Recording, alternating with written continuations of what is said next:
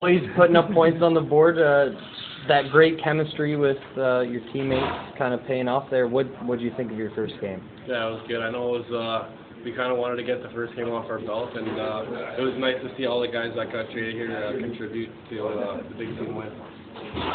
Yeah, that's kind of a welcome, welcoming yourself to the team. Yeah, for sure. I know. Uh, we just wanted to keep it simple with our line mates, and uh, I think that's what we did. And got bucked to the net, and uh, we capitalized there. You've seen Sadeo play. He can bring a little physicality back there. Yeah, for sure. I think that's why they brought him here, and uh, he definitely showed them uh, a little bit of what he had in the first period with that big hit, and then he just uh, played a solid game for the other two periods. Uh, Evan Rodrigues seemed to fit pretty well on that line.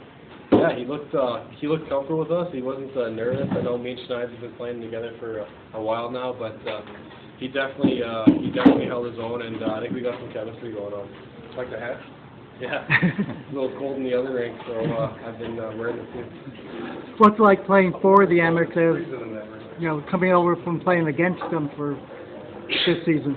Uh, sorry, I didn't hear the. What's like playing for the Amerks as opposed to playing against them now? Well, I just seen the faces when you come here, and uh, not really knowing the guys. Now getting in the room with them and uh, getting welcomed. It's uh, kind of different, but uh, it's been a good week for us, and uh, we welcomed in pretty well. So we're happy to be here, and hopefully we can continue uh, the win streak. Do you have any hint this was coming? Uh, we had, I think all three of us didn't really have uh, a clue. So uh, we're happy to be here. We're on uh, a team that's making a playoff push, and uh, hopefully we continue this uh, good thing on.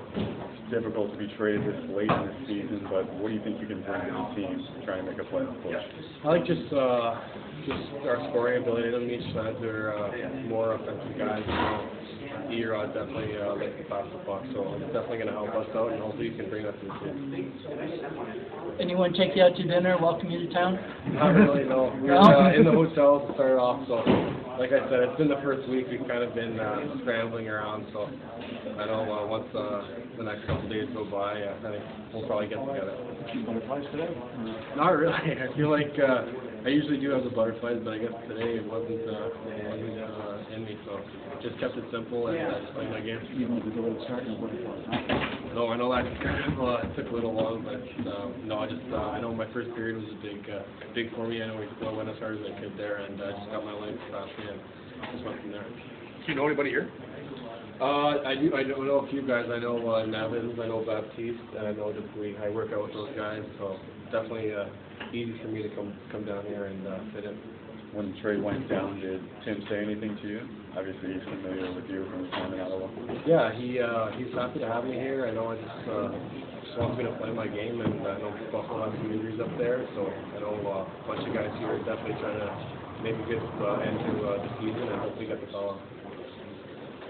Awesome. Thanks, Thank you. guys.